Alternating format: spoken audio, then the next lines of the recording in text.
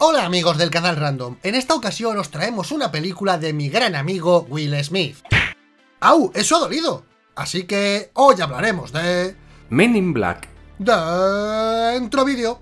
Un calvo malvado transporta a un grupo de mexicanos en su furgoneta, pero les detiene la patrulla fronteriza. Luego llegan el agente D y el agente K que se identifican como agentes del Departamento de Inmigración. Como la película es de Amblin, pues tendremos un homenaje a ET. Datos viejunos. Total, que mientras sacaban a esta gente de la furgoneta, vimos a un policía junto a la puerta, aunque antes no estaba ahí. K habla a los mexicanos en español, y se da cuenta de que uno de ellos no sabe el idioma, así que dejan que se vaya el resto y se llevan al sospechoso. En fin, que descubren que era un alien disfrazado llamado Mikey que se pone nervioso, y como intenta matar a un policía, pues lo eliminan. Y vemos que la sangre son ¡sí! potingues verdes, porque como ya sabéis... Espera, espera, espera, espera, espera, espera, que son potingues azules, te libras de cutre, de momento. Total, que la gente K decide activar un aparato llamado neuralizador, para que los policías olviden lo ocurrido. Posiblemente este aparato sea lo más famoso de la peli, no hagáis como que no lo conocíais. Pero podemos ver que los potingues azules que tiene este desgarramanta sobre la cara están ahora distribuidos de forma distinta. El agente D está abatido porque no pudo reaccionar y eliminar al alien, con lo que es hora de que se jubile y de hacerle olvidar todo. Will Smith es un policía que consigue atrapar a un criminal random, pero este logra escaparse subiendo paredes como si fuera Spider-Man, aunque finalmente Will alcanza al que se parece a Messi. Pero no nos olvidemos de cómo entró Will Smith al edificio, disparando destrozando el cristal. ¡Poli del año! Total, que este tío se lanza desde arriba y se estampana contra el suelo. En otro lugar, una nave espacial aterriza suavemente sobre una ranchera, y un alien le quita la piel al granjero y luego se la pone como si fuera un disfraz. Pero como le queda grande, tiene que ajustarse la piel. Aunque podemos ver que en un plano la piel está estirada y al siguiente no. La forense ha descubierto algo en el cuerpo del criminal, pero K la hace olvidar y apaga las cámaras. Luego lleva a Will Smith a una tienda de empeños, donde el dueño trafica con armas alienígenas, ya que cuando el policía quiso detener al criminal, a este se le cayó un arma que luego se evaporó, con lo que K quiere que la identifique.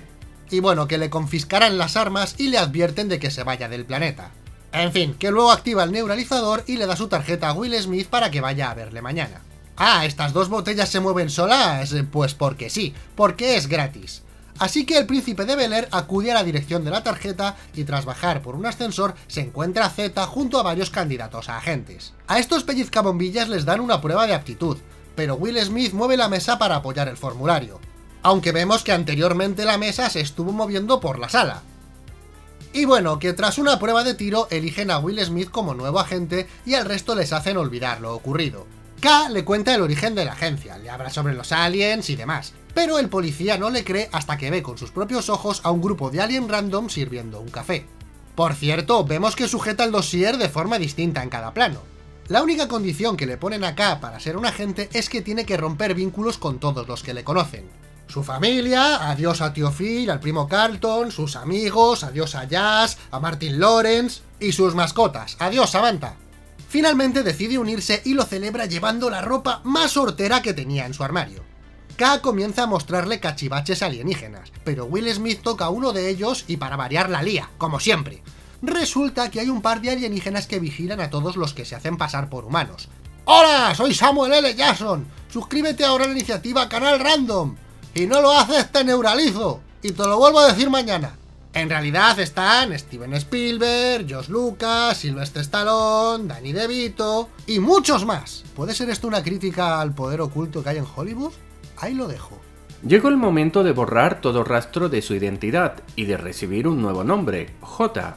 Mientras tanto, el alienígena con piel de granjero se ha cargado un exterminador, metido su nave espacial dentro de una furgoneta y viajado hasta Manhattan.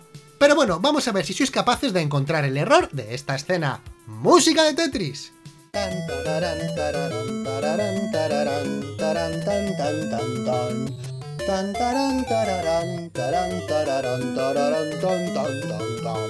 Eso es, el agente K tiene las piernas cruzadas, luego separadas y otra vez cruzadas.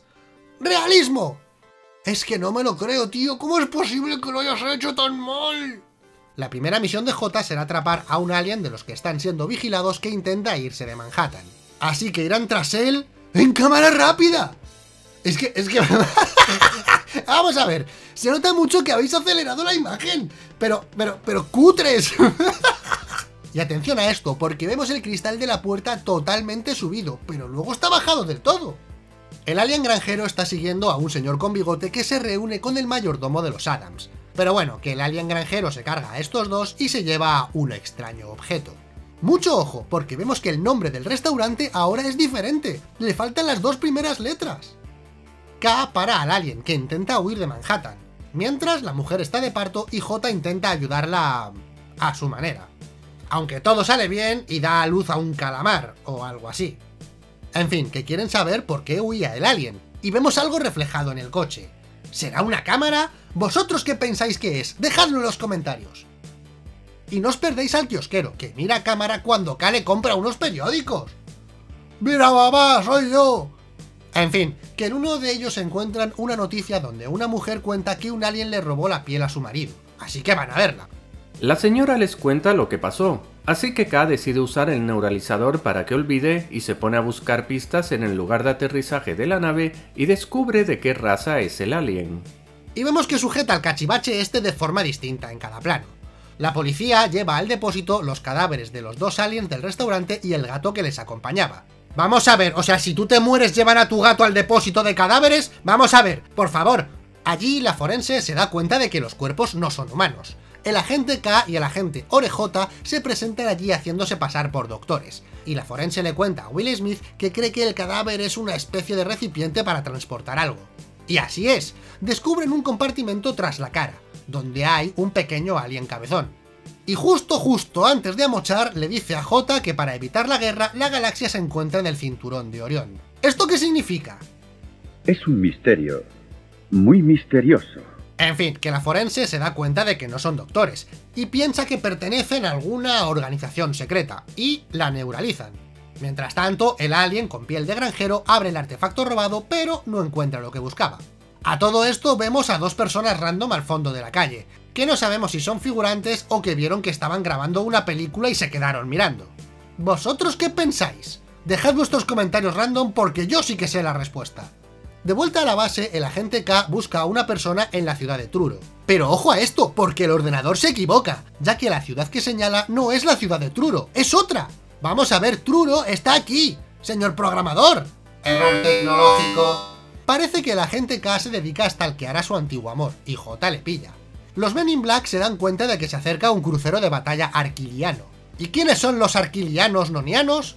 Pues cabezones como este que además resulta que era un rey, un príncipe o algo parecido, que estaba aquí retenido en el aeropuerto y se dedicaba a mandar cartas, ¿vale? Prometiendo parte de su herencia para volver a su planeta, pero nadie le contestaba, no sé por qué. Nuestros amigos van a por armas. K agarra una grande y le da a J una pequeñita. Tranquilo, Will Smith, que el tamaño no importa. ¡Consejo random! El alien con piel de granjero entra a la joyería del arquiliano buscando algo, y tras ver una foto del gato se da cuenta de que lleva un colgante extraño y que puede que dentro esté eso que quiere, que aún no sabemos qué es. La grúa quiere llevarse la furgoneta del alien mugroso, pero este se carga al conductor y se lleva la grúa. J y K estaban por allí revisando la joyería e intentan detener al alien, pero sale mal. Podemos ver que cuando J cayó tenía una caja de pizza encima, pero al cambio de plano no. Luego se incrusta en la luna delantera de un coche, y podemos ver que el trozo de cristal estaba previamente cortado. Z recibe un mensaje de los arquilianos, que reclaman a los hombres de negro que le entreguen la galaxia. J y K van a ver a otro alien al que le preguntan educadamente qué significa el mensaje de que la galaxia está en el cinturón de Orión, pero el perro pulgoso este les dice que una galaxia puede ser incluso un objeto muy pequeño.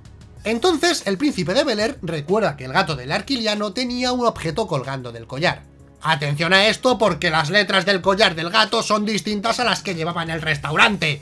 ¡Cutres! ¡Chapuceros! Total, que la forense descubre que hay una galaxia dentro del colgante del gato. Pues si mira debajo de mi sofá, va a flipar. El alien granjero llega al depósito buscando al gato, pero por el poder del guion también aparece por allí Will Smith buscando al Michi.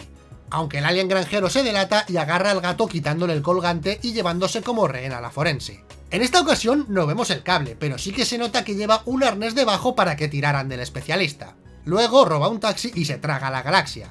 El caso, que consigue darle esquinazo a nuestros amigos.